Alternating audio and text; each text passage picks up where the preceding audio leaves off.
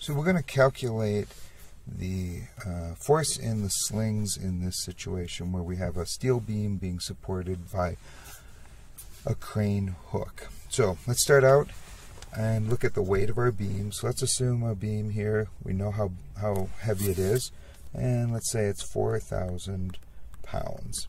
We're going to add an additional uh, weight of the slings at about, let's say, 50 pounds, so we'd know how much our slings are. So, first thing we, our goal here is to find out how much force in the sling. Okay, so just looking at it, you can tell that if it's symmetrical, each sling will take about half of the load. The problem is, is when they're at uh, an angle like this, and we're going to measure our angle alpha from the horizontal, those forces get magnified. And if you can picture this, the wider the, the angle is, um, meaning if I make it more like this, let the, the more the force will be smaller, and as I make the angle smaller, they're spread out, the force will get larger. So, if we look at the overall weight, it, hopefully it's obvious that the, the force in the cable will be equal to the weight of the beam plus the weight of the slings. Okay, so that's 4,050 pounds. Okay, now our goal is to find the force in the sling. So let's do a free body diagram at the hook.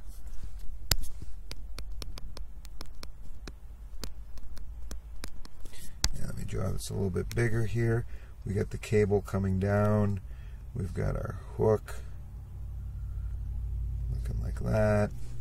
And then we have our two slings wrapped around the hook coming out like that. So they all come together at one point.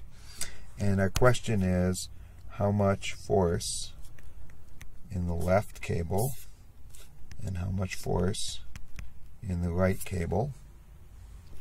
And we know that the force in the upper cable is 4,050 pounds. So we're going to need to know the angle.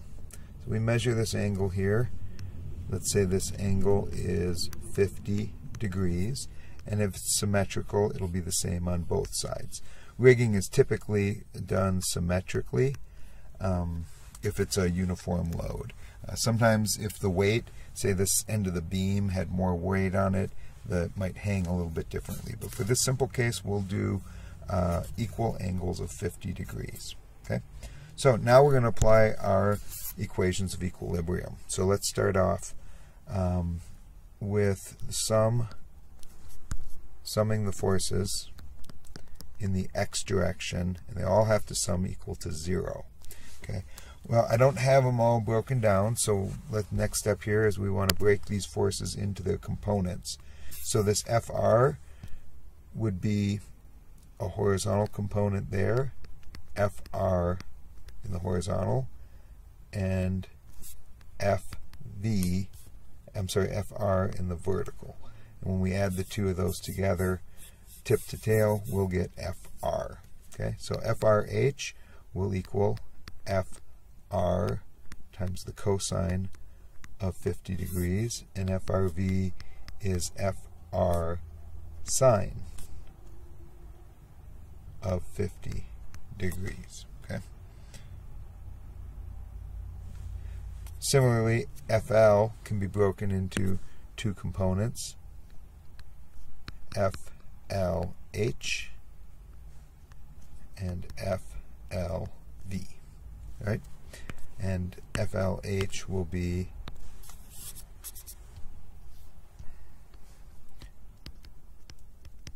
FL cosine of 50 degrees, and FLV is FL sine of 50 degrees. Now we can do our summing of the horizontal forces. So the I have a negative FLH and a positive FRH. We'll substitute them in. We get FL cosine of 50. That's negative because it's going to the left. Plus FR cosine of 50, and that sums to 0.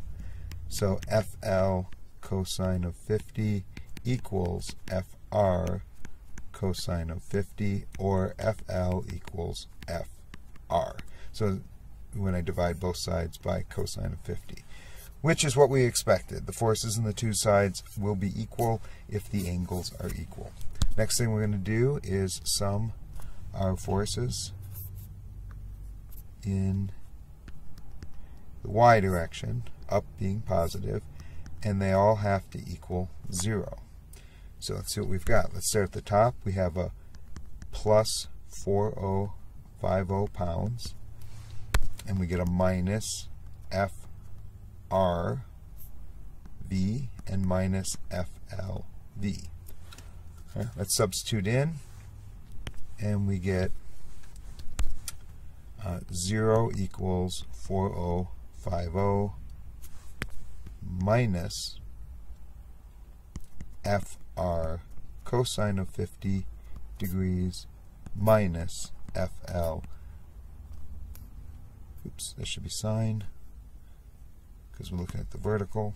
So FR sine of 50 and FL sine of 50 degrees. Okay? So solving for that, we can get um, bringing these FR sine 50 plus FL sine of 50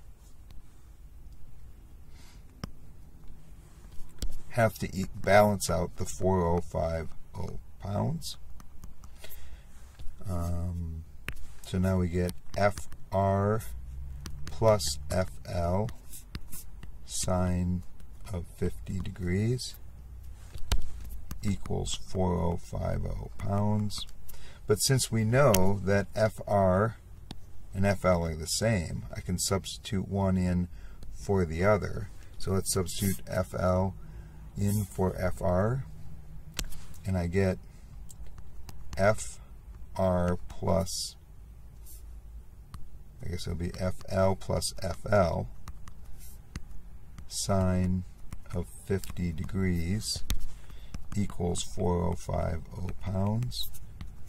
So that's 2FL sine of 50 degrees equals 4050 pounds. Therefore, FL is equal to 4050 pounds divided by 2 sine of 50 degrees. Okay, now I can put that in my calculator.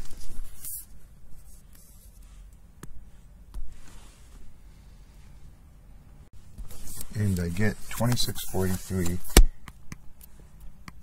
2643.5 pounds. So the left sling is 2643 and the right string will be the same. So FL equals FR equals 2643.5 pounds. Okay.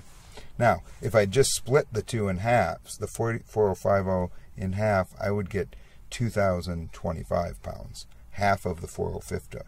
So that shows that as the angle gets wider, the forces in the slings get larger. The general solution here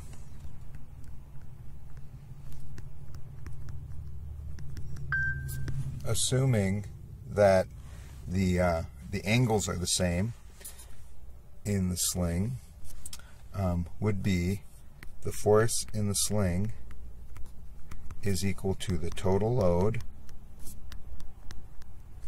Okay, so that would be our total load there divided by 2 times the sine of the angle. And that angle we know it has to be measured from the horizontal. So we're measuring that angle up here from the horizontal. If the angle was given measured from the vertical, this would be 90 minus alpha. And there is our solution. Note that as alpha goes to 0, sine of 0 goes to 0, and it's a total load over 0, and we get an infinite number. As alpha goes to 90, sine of 90 is 1. The total load become the force in the sling is the total load divided by 2. And there we have it.